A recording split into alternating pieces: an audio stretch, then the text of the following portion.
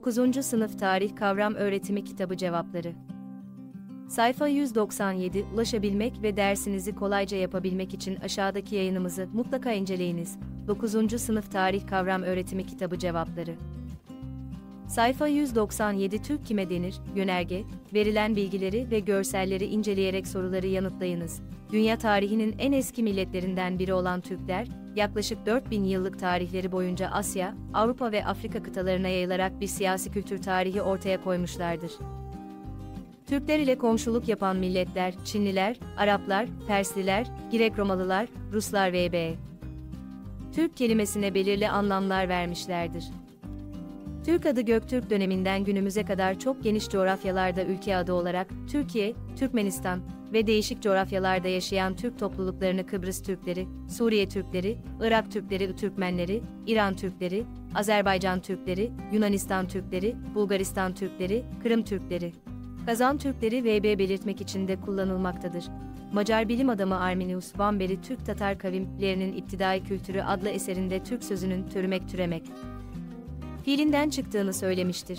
Türkiye'nin ünlü sosyologlarından olan Ziya Gökalp kendi araştırmaları sonucu Türk adının türeli töreli anlamına geldiğini söylemiştir. Kaşgarlı Mahmut, 11. yüzyıl sonlarında kaleme aldığı Divancı Lügatit Türk adlı ünlü eserinin Türk maddesinde olgunluk, olgunluk çağı, kemal manalarına geldiğini belirtmiştir. Şu adlı Çin kaynağında tukükü sözünün Türk dilinde mifer anlamına geldiği belirtilmektedir.